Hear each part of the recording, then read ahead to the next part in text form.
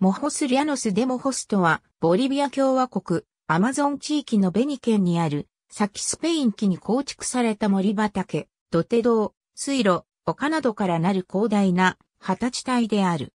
この壮大な景色は、昨今、全体として一つの景観考古学として捉えて、いこうという研究も行われている。リャノ・デ・モージョスのうち80%はサバンナや牧草地帯で9万3000平方キロメートルあるという。残りの20%は川やセルバ、湖などからなるという。寒気と雨季の繰り返しによって浸水したり土地が乾いたりし、氷土は粘土質層及びシルト層からなる貧栄養土のサバンナ地帯が多くを占めるが、その下のより有機物の多い層を掘って盛り土するなどの高地化、環排水溝の整備により、過去には大規模な工作が行われていたことが確認されている。この広大な田園地帯が構築された年代は、紀元前後頃からスペイン人による征服頃までと言われている。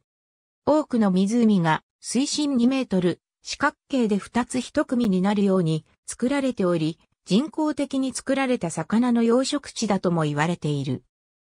近年の実験では、水深2メートルにすると、太陽の光による水面の熱と地底の冷水がうまく循環でき、また池を2つにすることで、補定青いを一面に浮かべた池と何もない池を水路でつなぐことにより、安定的に魚の供給ができるという。考古学的意向が集中するのは、ケント・トリニダード周辺及びマモア川周辺。及びラノスでモージョスの北部で、ペルー共和国に近いライスポランザ周辺という、エリクソン1980。アマゾン文明も参照。古くから海外の調査隊による試掘や表面調査、現地ボリビアの考古学者による試掘などが行われてきたが、昨今ではアメリカやドイツによって長期にわたって調査が行われてきた。学術的な調査としては、アーランド・ノーデスキールド、スティグ・ライデンらの基礎的な縮掘に始まり、ワンダ・ハンケ、ハインツ・ケルム、ジー・プラフッカー、ウィリアム・ダニー・ブン、ビクトール・バストース、クラーク・エリクソン、ドーアティワイ・カランドラ、ホルヘ・エリラのアーノルド・アイケネス、ヘイコ・プライマーズ、ケニー・シー・リー、マルコス・ミヒエル、マックス、ポルトガル・オルティス、クラーク・エリクソン、ホルヘ・エリラのらの調査がある。